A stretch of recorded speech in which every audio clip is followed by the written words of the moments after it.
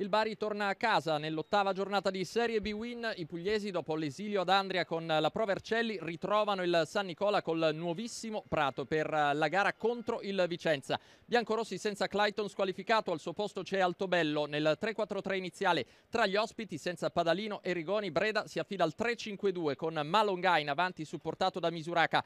Arbitra la penna di Roma. Per il Vicenza in Serie B a Bari in 16 precedenti mai un successo. 11 vittorie del Bari e 5 pareggi. Si comincia dopo due minuti, la prima occasione è per eh, gli ospiti con la conclusione provata da Misuraca dai 20 metri, un destro che però non impensierisce la manna. La replica dei padroni di casa il destro provato da Bellomo già in gol nella gara interna contro la Provercelli, stavolta però la conclusione non può creare problemi a Pinsoglio. Minuto 14, grande combinazione all'interno dell'area di rigore tra Caputo e Iunco. In tilt la difesa del Vicenza arriva a rimorchio Bellomo che cerca la conclusione, destro però troppo aperto e senza la necessaria coordinazione, il pallone che si perde sul fondo. Insiste la formazione bianco-rossa pericolosa. Anche intorno alla mezz'ora ancora una volta concedono il bis. Caputo e Junco in combinazione. Stavolta ad andare alla conclusione e il capitano il suo destro raso terra inchiodato a terra da Pinsoglio.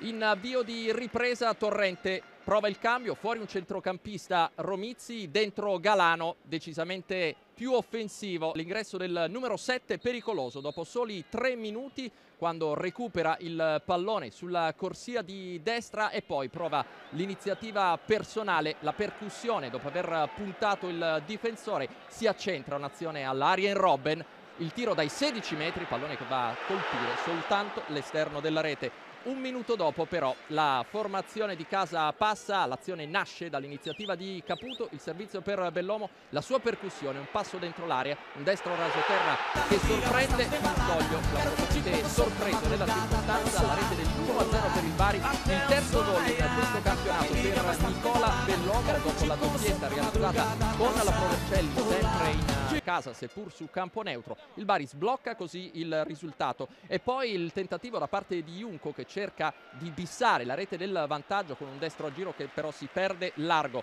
Al minuto 10 ancora un'iniziativa da parte di Galano, ci prova sempre col suo piede preferito con il sinistro dai 25 metri, la parata a terra di Pinsoglio un minuto più tardi, grande opportunità per Ciccio Caputo sulla punizione di Polenta, si trova liberissimo di colpire sul primo palo, il suo destro però finisce altissimo. Dall'altro lato si vede il Vicenza con l'iniziativa del nuovo entrato Giacomelli, entrato in campo al posto di Pinardi, incrocia il destro, la parata a terra di Lamanna. Grande opportunità poi al minuto 31 sulla botta dai 30 metri di Capitan Pisano, deve volare Lamanna per mettere il pallone sopra la traversa. Grande opportunità, grande riflesso però per il portiere del Bari di proprietà del Genoa. Dall'altro lato l'azione della formazione di casa con Caputo che si inventa letteralmente un pallonetto dai 40 metri. Pinsoglio con l'aiuto della traversa riesce a mettere in calcio d'angolo prima della chiusura in pieno recupero ancora Stefano Giacomelli al tentativo di conclusione. Ultimo brivido per la difesa del Bari pallone che però si perde alto sopra la traversa. Il Bari vince per 1-0 scavalca il Vicenza in classifica e si porta a quota 10